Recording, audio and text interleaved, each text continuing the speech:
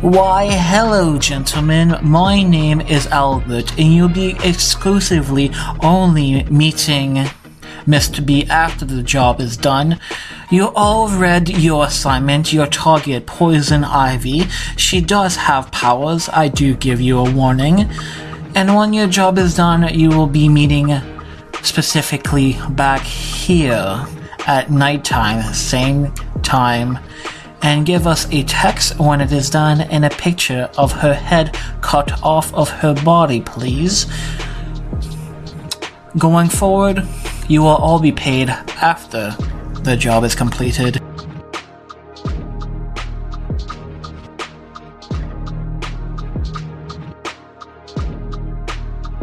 And one more thing, gentlemen. Please do your best to her very, very good.